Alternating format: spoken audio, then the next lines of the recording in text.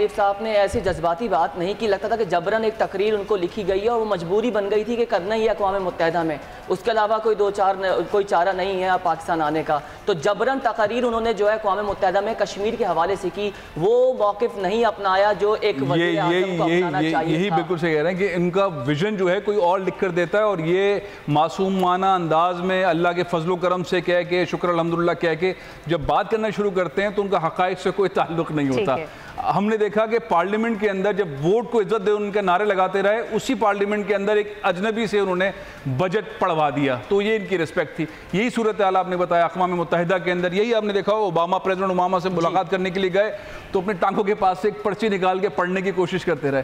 تو معاملہ یہ ہے کہ پاکستان کی فورن پالیسی کیسے کمپرومائز ہوئی؟ پاکستان کا نیریٹو کیسے کمپرومائز ہوا؟ پاکستان کی اکانومی پاکستان کے اندر کے سارے معاملات اور آج ہم جس میں دھسے ہوئے ہیں اس میں یہ چونتیس سال حکومت کرنے کے باوجود میاں صاحب اب بھی کہہ رہے ہیں مجھے پانچ سال دلوائیں میری پارٹی کو پانچ سال دلوائے تو میں پاکستان کو ایسے میں دعا ہی کی جا سکتی ہے